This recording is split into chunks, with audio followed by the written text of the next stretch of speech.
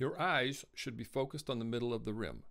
After you shoot, keep your eyes focused on the rim and do not watch the ball after you release it.